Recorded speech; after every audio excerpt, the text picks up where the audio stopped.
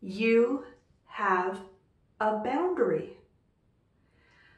There is an energetic membrane between you, the energy that is you, the energy that belongs to you, the energy that belongs to your body, uh, and between the energy that does not belong to you, that belongs to other beings and bodies. And we call that energetic membrane your boundary.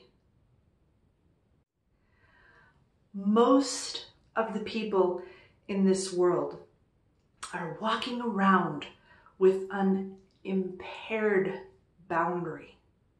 I mean you. It's an epidemic. The consequence of an impaired boundary is suffering, either your own or others that you affect.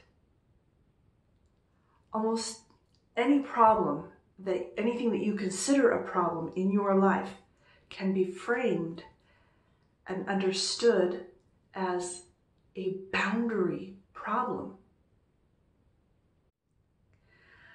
That's why I have long felt that teaching people about their boundary and how to repair, heal, and maintain their boundary is of the utmost importance.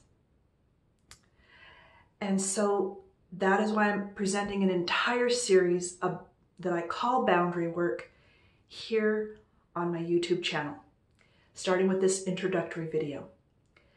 And this series on boundary work ties in with all of the other series and courses that I'm doing on my YouTube channel.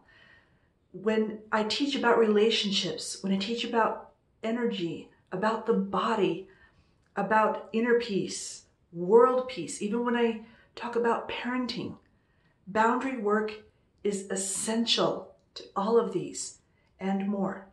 I'll even go so far as to say that world peace is possible only when people understand and heal their boundaries.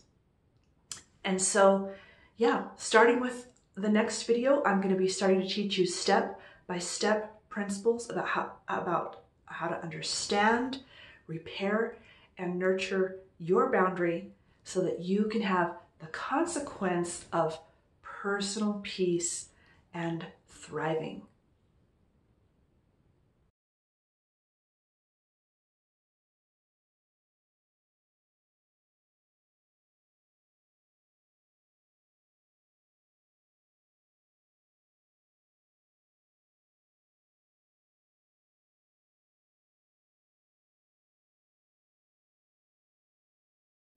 I talk a lot on YouTube.